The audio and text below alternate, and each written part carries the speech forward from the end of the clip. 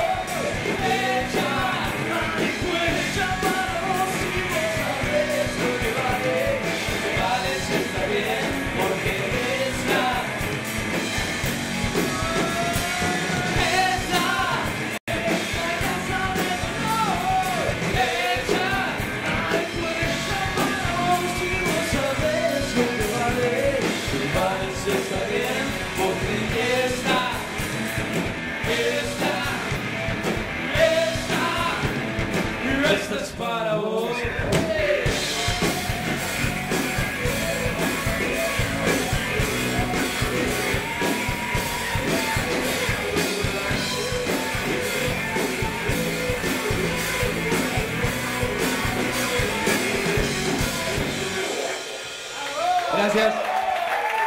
La Casa del Dolor.